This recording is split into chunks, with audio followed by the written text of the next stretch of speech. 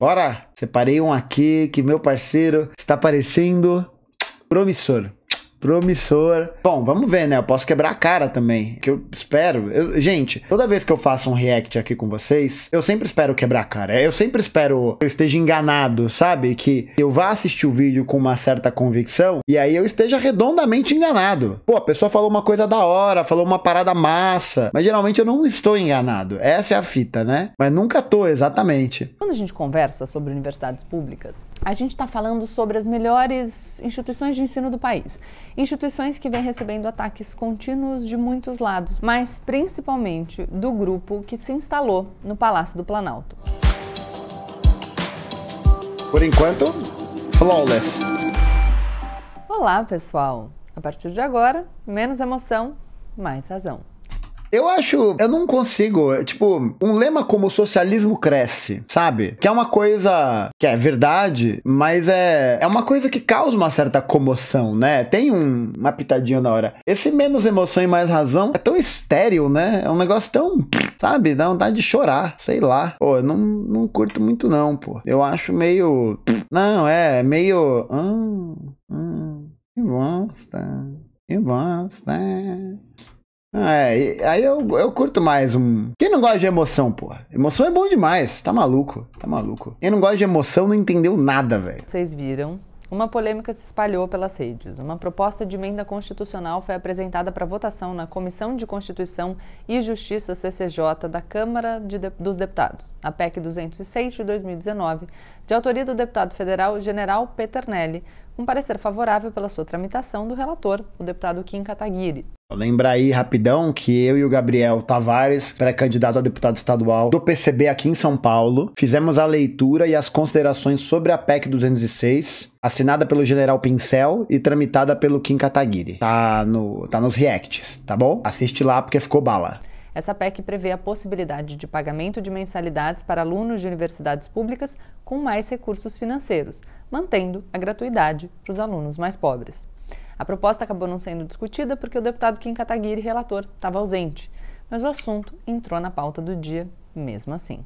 Que surpresa que o Kim Kataguiri estava ausente. Essa turma do MBL aí, que faz parte do Poder Legislativo, eles são conhecidos como os Mamãe Faltei. Nossa, eles faltam demais nas sessões, velho. Tá maluco. Vamos começar do começo? Por que, que esse assunto tem que ser tratado por uma PEC, uma proposta de emenda à Constituição?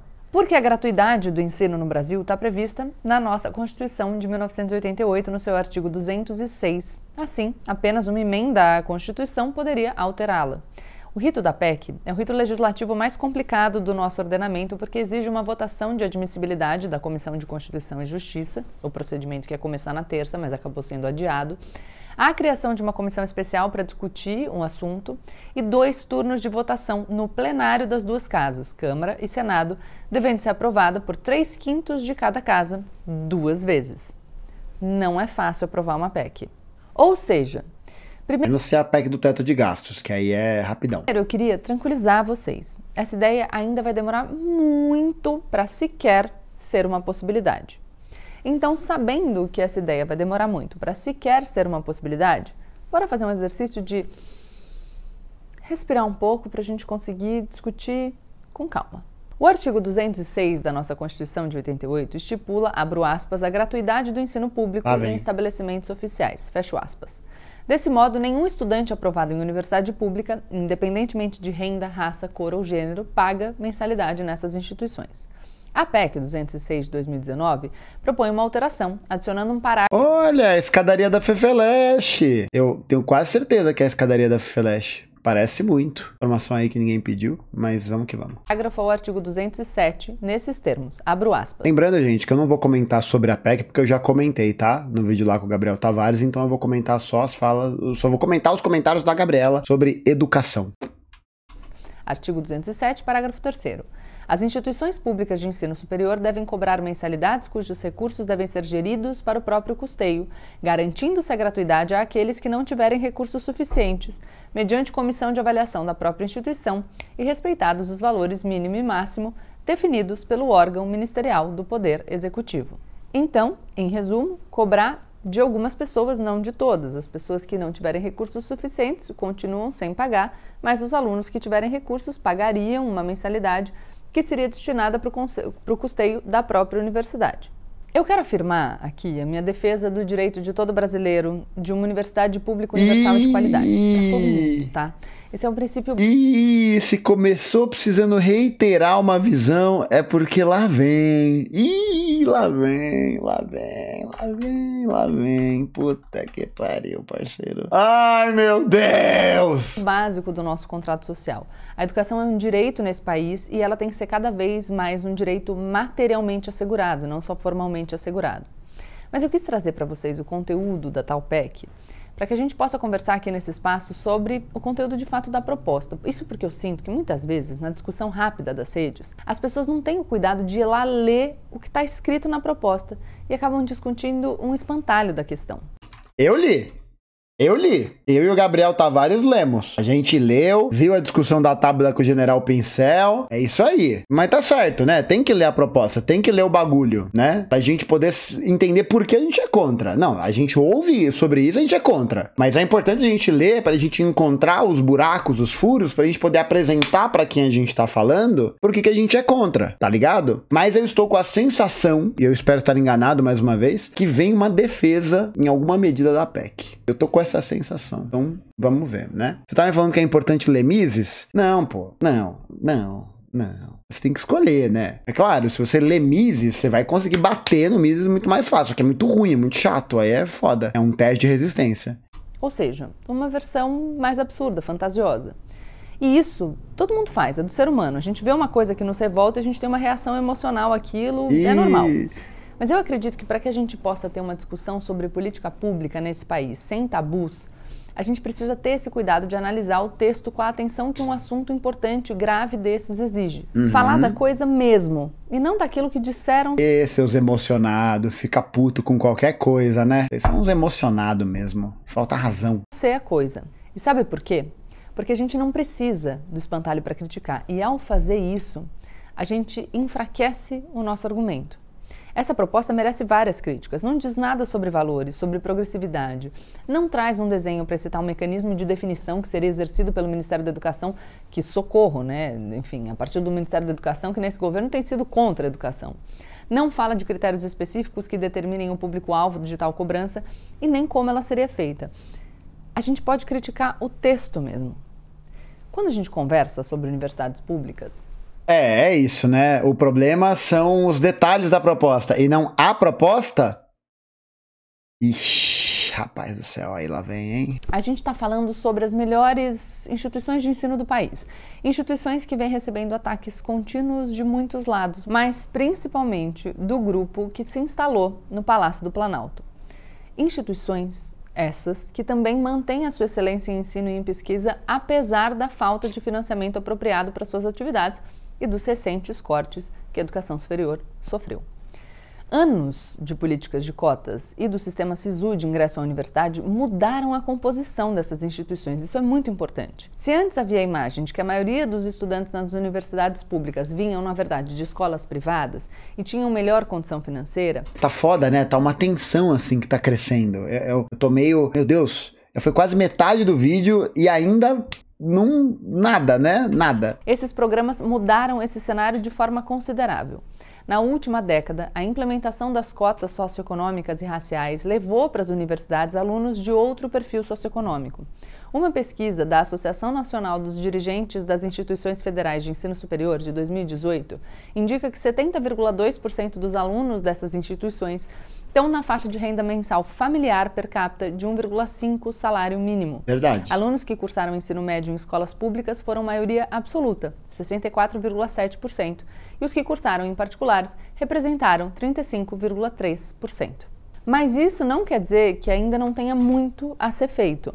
Para mim, uma discussão sobre cobrar ou não cobrar matrícula de alunos ricos em universidades públicas, embora possa ser feita, e não pode ser feito. Não pode ser feito. Não, a gente já falou disso. Para que que você, ó, cobrança de mensalidade em universidade pública é uma coisa que inviabiliza a luta por uma educação pública de qualidade, sabe? E, e, e não é como se a universidade pegasse o recurso dela do chão. O Estado pode gerar recurso, gerar né, recurso, imprimir dinheiro para poder melhorar a estrutura da universidade. Por que, que não existe dinheiro na universidade? Não é que não existe dinheiro porque está faltando dinheiro. Não é por isso. Não existe dinheiro porque o projeto neoliberal da educação é de desfinanciamento da educação pública. E aí a educação pública, dependendo de recursos privados, vai passar por um processo de sucateamento para que se possa vislumbrar sua privatização, sabe? E é isso, né? E quanto que seria essa mensalidade? Tipo, é um negócio que não faz sentido, assim. Tanto que os comunistas lutam pelo fim do vestibular, né? Não, não é só da não cobrança, mas é do fim do vestibular. De entra na universidade quem quiser entrar. Porque hoje em dia, o vestibular ele funciona majoritariamente não como um filtro de conhecimento, sabe?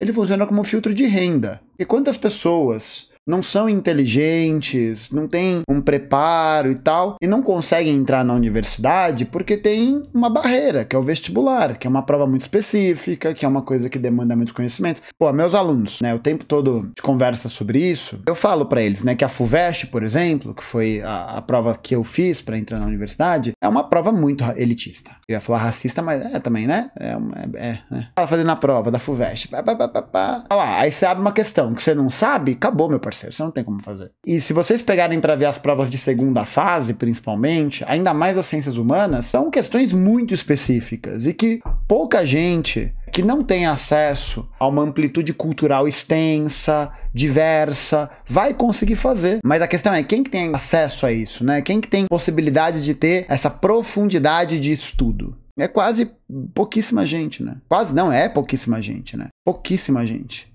Muito osso, né? Muito osso. Então, tipo, o vestibular é o, é o grande impeditivo né? E existe recurso para poder manter todas as pessoas. A questão é que outros recursos teriam que ser retirados de áreas que interessam aos capitalistas. Então, tipo, ah, vai ter que cobrar grandes fortunas, vai ter que taxar lucro e dividendo. Tem por onde gerar recurso, sabe? Tem por onde. A questão é que se opta por não fazer. É uma opção, né? Não é, ah, céus, né? Não, é uma opção. Tira o foco real do real problema da educação no Brasil que é a necessidade de um salto de qualidade na educação básica.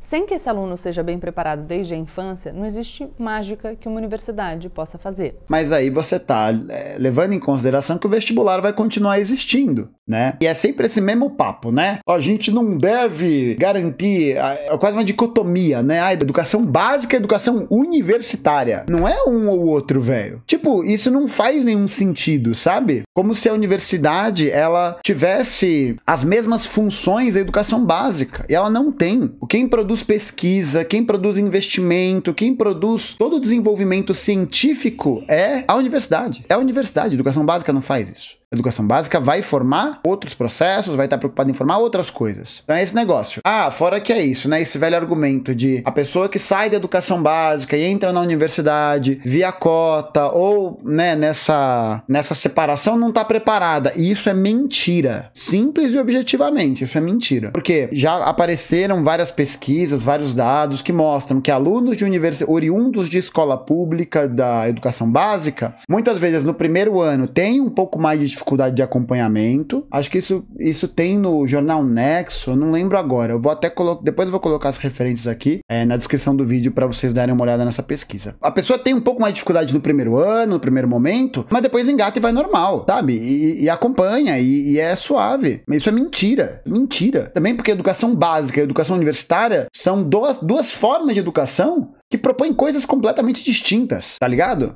Então, tipo, ah, por exemplo, né, em história, que foi o curso que eu fiz. O curso de história que você aprende na escola básica vai te ajudar na universidade? Olha, muito pouco, viu? Muito pouco. A não sei que você tenha uma exceção de uma aula que te ensinou a trabalhar com um documento, fazer questões, tal. Cara, dificilmente essas coisas vão dialogar entre si. Sendo bem honesto. Com engenharia é a mesma coisa, com direito é a mesma coisa, com medicina é a mesma coisa. Você tem uma base, né? Mas não é como se essa base fosse fazer uma diferença tão substancial na tua formação, tá ligado? Pô, é isso.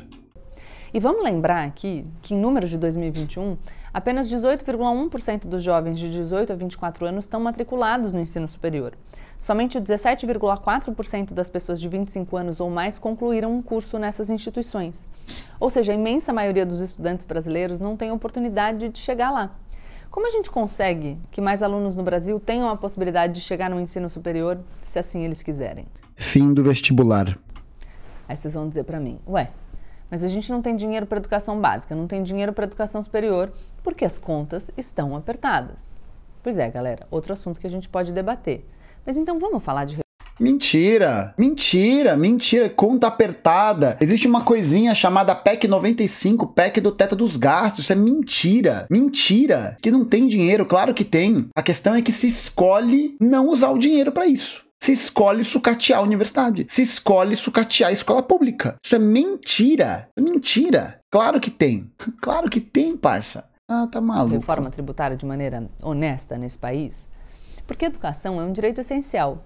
E é uma conta pública que a gente precisa pagar. Afinal, a gente precisa de professores bem remunerados, instalações apropriadas, limpeza, refeitório, profissionais administrativos. É uma estrutura grande, considerável. E como funciona o dinheiro que paga as contas públicas?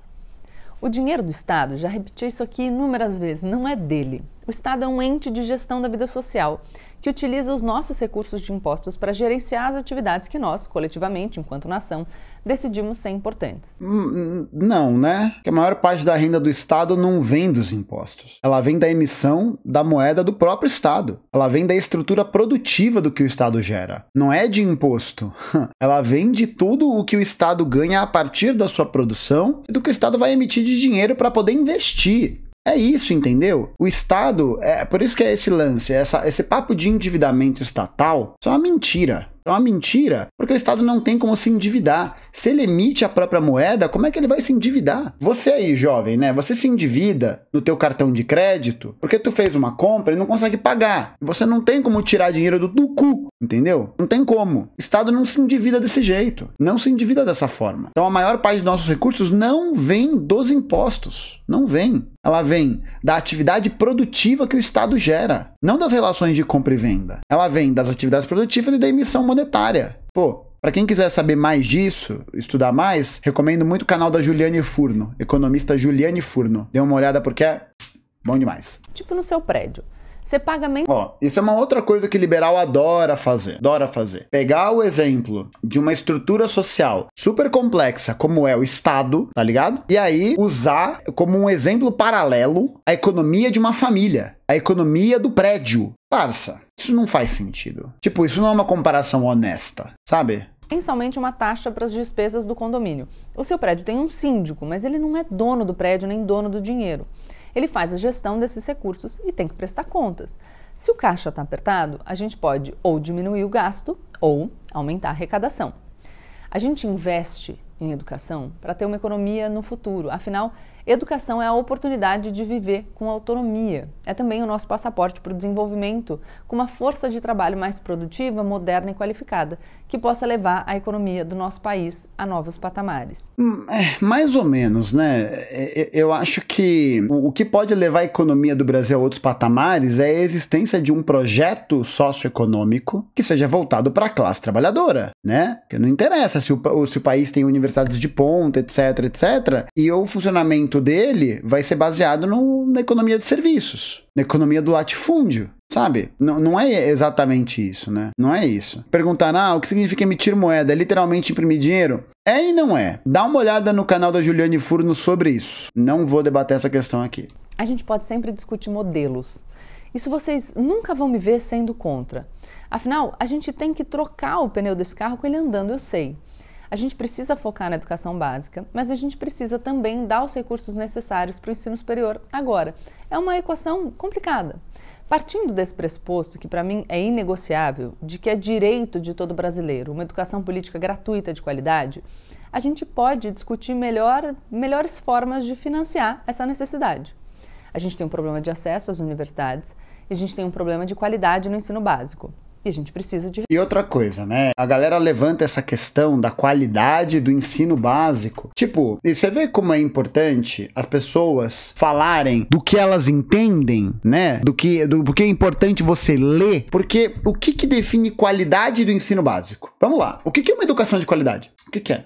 O que, que, é? Porque para BNCC, por exemplo, pro PISA, né, pro teste PISA, é quem sabe escrever e fazer conta. Isso é uma educação de qualidade. Acabou. Agora, o que que é? É uma educação voltada ao mercado de trabalho? É uma educação crítica? O que, o que que é uma educação de qualidade? Entendeu? A gente tem que primeiro analisar qual que é o projeto que a gente está direcionado para que a gente possa criar uma métrica para falar o que é de qualidade ou não. Senão você fica nessa, né? Não, eu concordo. Ouvido um L nas escolas é qualidade, ó. Lindo lindo demais. A, a, qualidade da educação ela vai depender de qual que é o projeto político que está por trás dela e não qualquer coisa, né? Porque parece isso, ah, e também mais dinheiro na educação. Em qual setor? Em qual área? Para fazer o quê? Sabe? Horrível. Recursos para as duas coisas. Tem um pesquisador do IPE da Fundação Getúlio Vargas, o Paulo Meyer Nascimento, que sugere, ele é favorável, por exemplo, a um modelo de cobrança sobre a renda futura do aluno, como acontece na Austrália. Aí, ó, é o mesmo, mesmo papo da Tabata Amaral, velho. É, é, o mesmo papo, é a mesma linha. Não vou recomendar aqui, porque eu fiz outro vídeo com o Gabriel Tavares falando sobre isso, então não vou fazer essa linha. Mas é isso, né? Economista da GV, para falar de educação pública? Não, meu parceiro. Aí não, né? Pô, a FGV é uma, é uma escola privada da alta elite e um dos maiores centros do pensamento liberal brasileiro. Horrível. Um valor seria cobrado posteriormente aos estudos do aluno, atrelado ao seu desempenho no mercado de trabalho, usando dados da Receita Federal daquele indivíduo que teve a oportunidade de estudar numa universidade pública. Então, quando o aluno está na universidade, ele não paga nada, mas depois, quando ele já estiver no mercado de trabalho, se ele tiver um emprego bom, ganhando bastante dinheiro, ele pode devolver um pouco de dinheiro para essa universidade. Afinal, ele se beneficiou daquele tempo de estudo para conseguir se preparar para essa colocação que agora é, ele tem. Mano, isso não é garantia de nada, né? Porque afinal de contas, a pessoa pode simplesmente fazer, meter uma evasão fiscal, a pessoa pode, pode ter, como é que é? é fuga de cérebros, pode. É, fuga de cérebro que é esse processo, né? Que a pessoa que é formada vai para outro país porque não quer pagar as taxas de um lugar. Isso pode acontecer. Isso é basicamente, gente, um fiéis público. É isso. E nessa toada, você, você legitima o argumento de desfinanciamento da universidade. Tipo, ah, é isso. Então, um aluno que vai ser rico, uma pessoa que vai ganhar dinheiro, dinheiro, vai pagar. Então a gente não precisa injetar dinheiro na universidade. Acabou, acabou, sabe? E como é que isso garante o melhor acesso das pessoas à educação pública e universitária? Não garante. Não garante. Não garante, velho. Porque o problema não é esse. É outra opção para tentar equacionar a necessidade de custeio dessas instituições. Existem várias ideias sobre a mesa e a gente precisa poder discutir todas elas com calma, com menos emoção e mais razão. Porra, toda vez isso? Estou sugerindo a vocês que vocês adotem essa ou qualquer outra proposta? Não. Estou falando só para a gente respirar três vezes e não deixar a emoção tomar conta de todo o ah, debate. Para, velho! A gente não, não consegue propor alternativas. É muito bom, né? Porque é, é, é, quase é quase um ad hominem com quem levanta. Porque é isso, né? Se você vai falar um negócio que é entendido como irracional, o sujeito pode falar o que ele quiser, né? Porque, ah, não, menos emoção, né? V vamos falar assim, ah, menos emoção. Mas o que, que é uma pessoa menos emocionada, Cáspita? O que, que é uma pessoa menos emocionada? O que, que significa uma pessoa menos emocionada? Percebe que é um valor muito subjetivo? Se é um valor muito subjetivo, eu posso falar qualquer coisa. Eu posso falar, ah, o que você tá dizendo aí aí é claramente uma lógica emocional. Então não tem nada de racional aí. Baseado em que critério? Baseado em quê? Por que, que todo mundo que fala de cobrança de universidade pública não fala de derrubar o teto de gastos? Não fala do fim dessa merda de responsabilidade fiscal? Por que, que ninguém fala isso? Porque é muito emocional, porque não tá lidando com as contas. É essa palhaçada. O Brasil tem problemas enormes e concretos que precisam de respostas para ontem interditar o debate é interditar a possibilidade da gente encontrar soluções. A educação pública gratuita, de qualidade, deveria ser direito de todos. Eu vou reiterar isso, sim, com certeza. Mas ela tem sido? A gente tem que nos perguntar. Os números nos mostram que ainda não. Então, como que a gente trabalha para trazer esse direito para todo mundo com qualidade? Não é fazendo cobrança, né? Como é que você trabalha? Você primeiro nacionaliza todas as universidades, todas as privadas, todas. Porque é isso, né? Quem valoriza esse movimento de cobrança de mensalidade, de inacessibilidade, foda-se, de não acessibilidade da universidade, são os grupos privados da educação. Os grupos privados da educação. Porra, você não acha que. Mandaram aqui. Violência nunca é a resposta, ela é sempre a pergunta, e a resposta é sempre sim. não mentiu.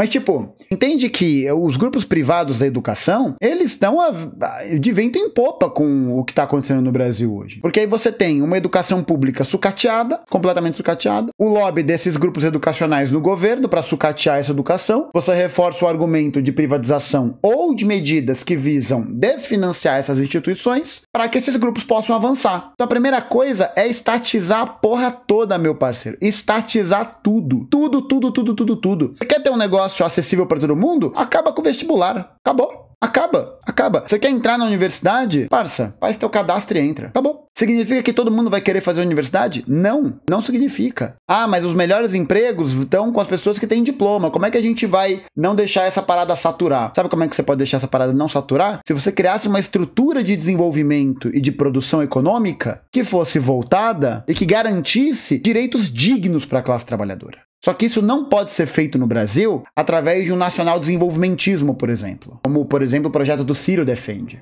Sabe por quê? Porque as burguesias nacionais da América Latina, do, do, chamado terceiro mundo, são burguesias que estão diretamente associadas a esses interesses financeiros. Então, tipo, não existe essa separação burguesia industrial, burguesia financeira, burguesia isso, burguesia daquilo. É tudo a mesma bosta. É tudo o mesmo lixo. Entendeu? Tudo a mesma merda. Então não tem como realizar esse processo através de uma mobilização em aliança com as burguesias nacionais. Porque as burguesias nacionais estão cagando para o povo. Elas estão, ó, ó, cagando pro povo, cagando pro povo.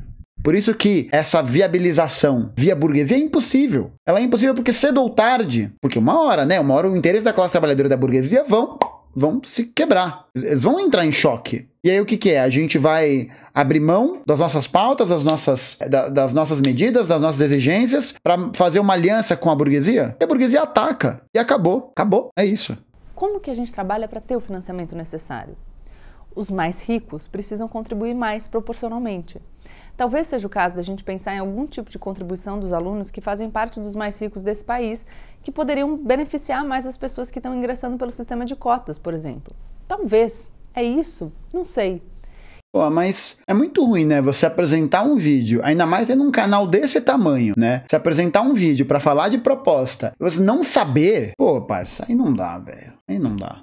Não, aí não dá, velho. Pô, não, não dá. Você tem que estudar o bagulho, sabe? Você, você, tem que ter um mínimo ali de, de conhecimento, de ter um alinhamento. Você tem que ter. Pô, zoada demais, velho. E a gente tem que deixar transparente Nossa. aqui quem são os mais ricos no Brasil. E eu quero que vocês prestem muita atenção nisso, porque eu penso que esses números podem chocar alguns de vocês.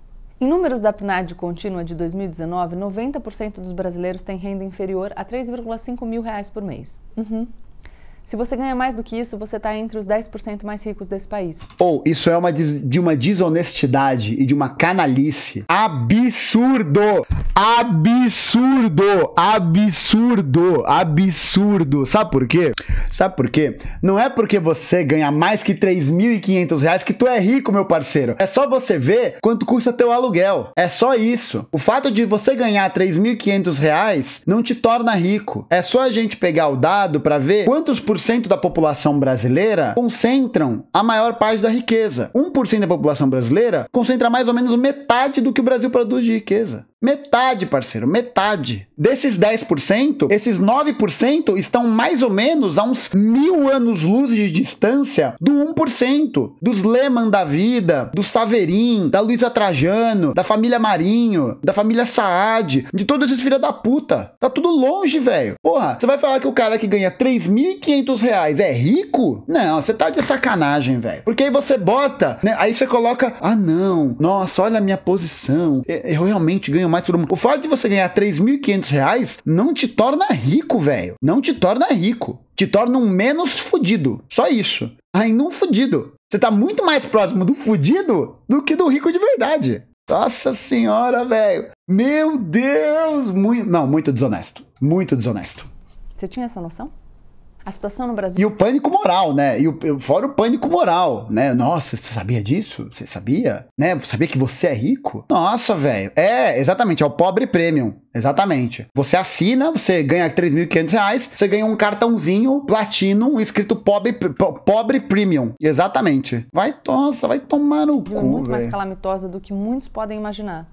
A pessoa que. Quem é rico? Não, eu tô indignado com isso, velho. Eu estou indignado. Você sabe quem é rico no Brasil? Não, eu tô indignado, velho. Eu tô indignado, porque ela. Você bota no mesmo eixo de comparação, você aí, que tá ganhando 3 pau e meio, 3 pau e, 3 pau e meio, que não são três salários mínimos. Não são três salários mínimos. Três. Com o Jorge Paulo Leman o homem mais rico do Brasil. Tá ligado, parça? Ó, até falhou. Puta que pariu, velho. Puta que pariu. Quem ganha 3.500 reais e vive numa grande cidade pode estar pensando agora, hã?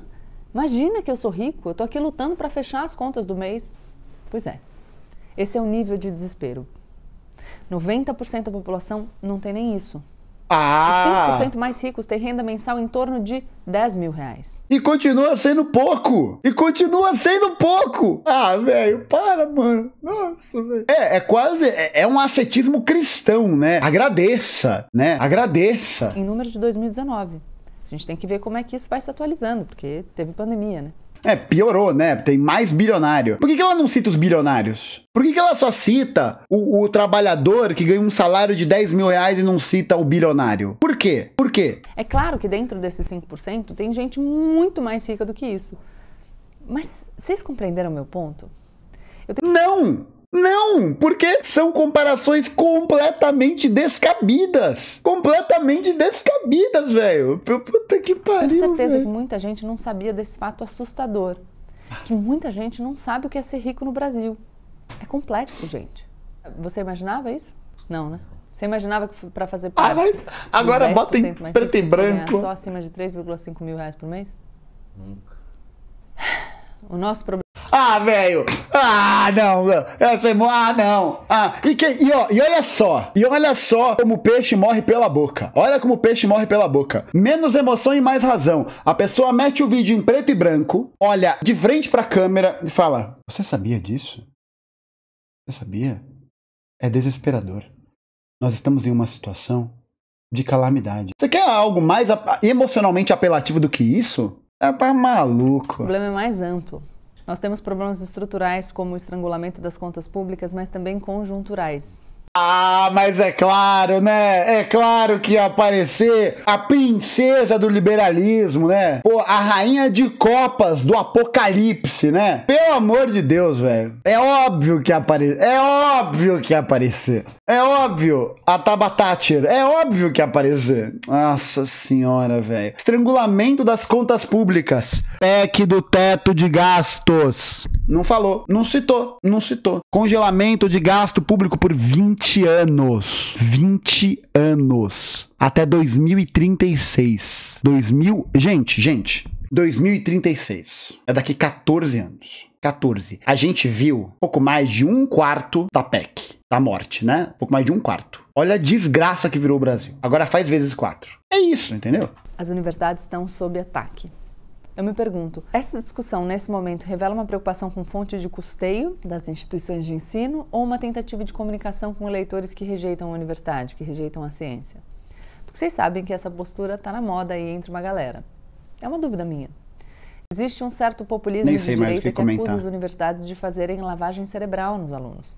Essas pessoas que propuseram essa PEC estão engajadas nessa temática fora do ano eleitoral ou essa discussão é um gol político? Que alguns estão tentando marcar com a sua parcela. E aí você vê, né? Ó como o centrismo iluminado, pensando direitinho, racionalmente, é sedutor porque tem meia dúzia de imbecil bolsonarista que fala um monte de groselha. Aí a gente se acostuma a ouvir esse tipo de discurso e achar que essa é a única opção. Que é isso, ah, não, a gente tem que pensar racionalmente, mas a mensalidade é inevitável. Vamos lembrar que o general Pincel, lá no react que eu fiz com o Tavares, ele deu um nó tático na Tabata Amaral. Um nó. Um nó. Nó tático. Foi foda, velho. Horrível, né? Mas ele conseguiu. Sala do eleitorado que tem ranço, por falta de palavra melhor, de ciência e de intelectualidade. Eu sempre peço para vocês atentarem para a estratégia dos atores políticos. Para quem é positivo falar disso agora? Como eu falei para vocês no começo do vídeo, mesmo se essa PEC começar a ser analisada pela CCJ, serão meses ou até anos até que todo o processo seja concluído. Mas talvez, para quem interessa, mesmo se nada acontecer, a jogada publicitária já foi feita.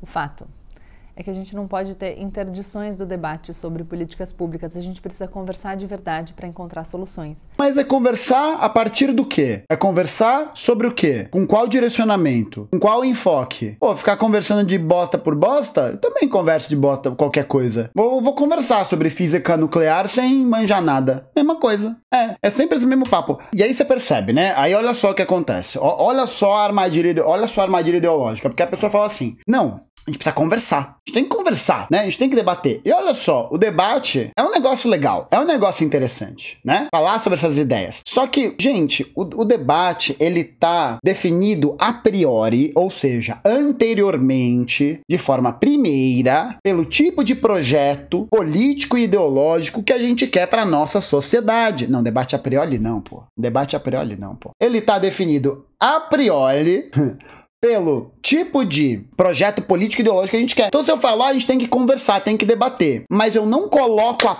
pauta do que tem que ser debatido. Sabe o que vira? Um grande aglomerado de senso comum. De senso comum. Vira tudo senso comum sabe? E esse senso comum, ele tá norteado por qual ideia? As ideias da classe dominante. Ele tá norteado pelas ideias correntes dominantes, entendeu? Então, antes de falar conversa, debate, não sei o quê, a gente tem que ler sobre isso. De novo, é uma questão de escolha. A gente tem que decidir o que, que a gente quer para a sociedade. E o projeto que eu quero para a sociedade e que é necessário para a classe trabalhadora é um projeto que viabilize a emancipação da classe trabalhadora através da universalização dos serviços, da estatização desses serviços, etc, etc, etc. A gente tem que saber de qual lado a gente tá, meu parceiro. Qual lado a gente tá. Porra, pelo amor de Deus. Senão a gente vai ficar pulando de iniciativa publicitária em iniciativa publicitária. O financiamento da educação pública é um problema seríssimo que não pode ser esvaziado por brigas de internet. Às vezes parece que não se consegue discutir política pública nesse país sem virar um ringue. Essa é mais. Fica nessa. Ah, não, a gente não pode brigar, não sei o quê. Parceiro, pessoa que está me ouvindo, priole. Política é briga. Política é conflito. É tensão. É disputa. Tem que brigar sim, caralho! Porra, porque se a gente não briga, a gente, ó se fode. É isso que acontece. Se a gente não briga, a gente se fode. Acabou. Se a gente não defende o nosso ponto, se a gente não tá ideologicamente firme, a gente tá fudido. Fudido, entendeu? Por isso que tem que brigar. Política é briga, política é tensão, política é luta, política é força. Pelo amor de Deus, velho. Esquerda amor, sai daqui, mano. Eu não sou. Deus me livre e guarde. Eu não sou do amor, não. Eu sou do amor aos nossos. Eu amo vocês aí, chat. Eu amo vocês, que são da classe trabalhadora, que estão comigo, que estão na trincheira, que estão fudidos que nem eu. Amor é com os nossos, é guerra contra eles. Solidariedade aos nossos. E ódio de classe a eles. Resenha entre nós, guerra aos senhores. E foda-se, entendeu? Ah, mas eu vou brigar. Vai brigar, vai brigar. Porra, tu pega pra ler Lenin, tu pega pra ler Marx, os caras tão tretando com todo mundo o tempo inteiro. Porra, liberal demais isso daí. Não, vamos, vamos pensar aqui nessa razão instrumental e não sei o que. Porra, vai, vai cagar, velho. Vai cagar. Uma das coisas que a gente vai ter que mudar pra gente avançar enquanto país nos próximos anos. E esse devia ser um compromisso de todo mundo. Antes da gente cobrar do outro, vamos cobrar da gente mesmo? Deixa seu like. E fala ainda, né? Menos emoção e mais razão e termina de, nesse apelo. Olhe para você. É quase um livro de autoajuda essa porra.